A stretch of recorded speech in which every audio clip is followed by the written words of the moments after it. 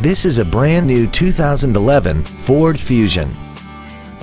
This four-door sedan has a six-speed automatic transmission and an inline four-cylinder engine.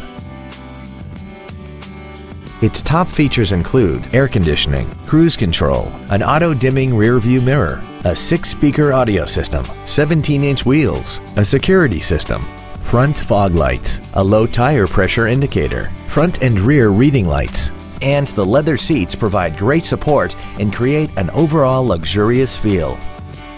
With an EPA estimated rating of 33 miles per gallon on the highway, fuel efficiency does not take a back seat.